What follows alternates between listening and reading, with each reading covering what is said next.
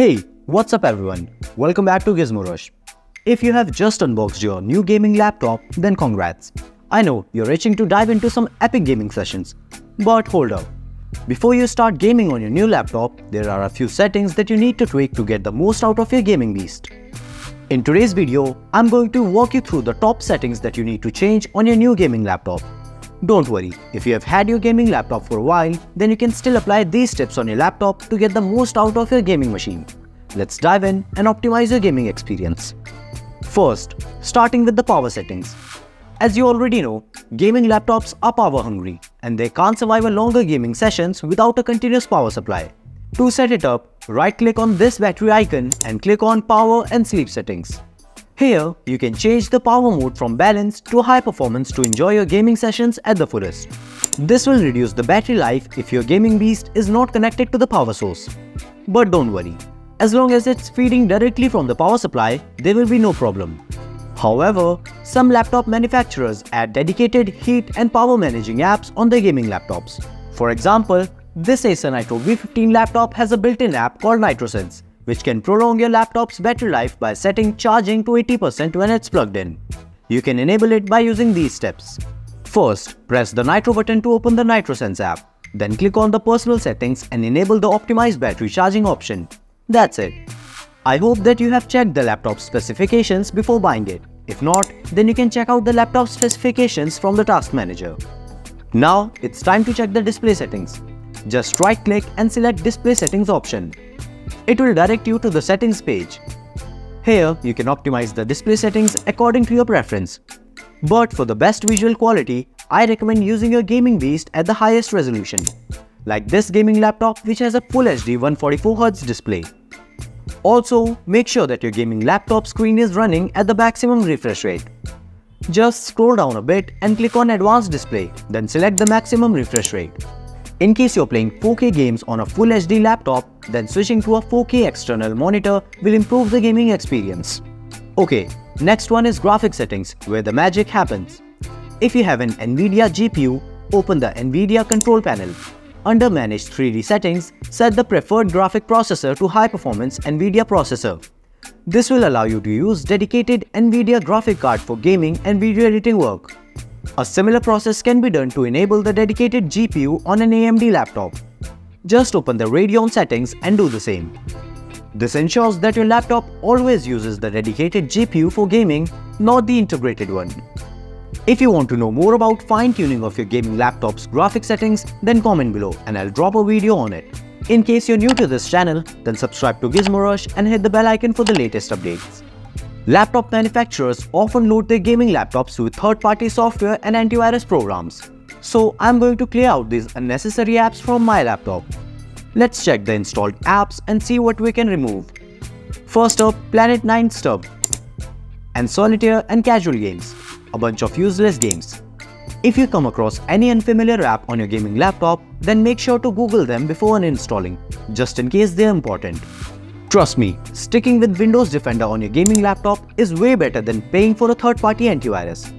These paid options often do the same thing but can interfere with your daily tasks. I'm not naming any one of these but you can see for yourself on the screen. The Core Isolation feature is an extra layer of security that isolates the core window features from potentially malicious code while installing games and other software on your gaming machine but at the same time, it consumes a lot of power resulting in increased ping latency and low FPS. If you want to keep your gaming laptop safe from any malicious virus, then keep the core isolation enabled. But if you prioritize gaming performance and you're okay with potential risks, then you can disable this feature. Enough of these setups and security checks. Now it's time to put your laptop for an actual task, which it is made for. We'll install a game on it and check how well it works. I'm going to install the Call of Duty Warzone or Genshin Impact GTA 5. It's going to take a while. Till then, you can like this video and subscribe to Gizmo Rush and hit the notification bell so you don't miss any updates from us. Okay, now the game has been installed.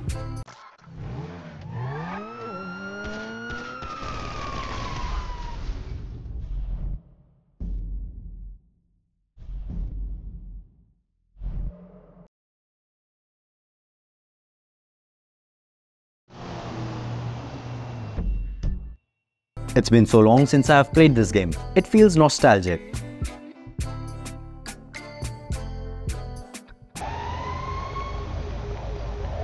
Fuck, that's... Get the fuck out! Also, you can check out my gaming test video on the Acer Nitro V15 gaming laptop by clicking on the i button. If you're a laptop gamer, then you should definitely keep game mode enabled. It prioritizes your gaming experience by shutting down unnecessary background activities. When you're in the middle of a game, game mode stops Windows updates from installing drivers and sending annoying restart notifications. It also helps maintain a stable frame rate so you can focus on having fun with your favorite game. Game mode is usually enabled by default on most gaming laptops, but it's always good to double check. Just open your laptop settings, go to the gaming section and you'll see the game mode button. If it's off, simply toggle it on. This quick check can make a big difference in your gaming experience. Benchmark is a useful tool to measure the gaming performance of any gaming laptop. And after purchasing and spending some time with the gaming laptop, you may wonder how much actual potential your gaming laptop has. You will be so eager to check your laptop's CPU and GPU performance to find out if you bought the right gaming laptop with your budget. In that case, you can check out the MSI Afterburner and Cinebench R23 benchmarking tools to measure your laptop's performance.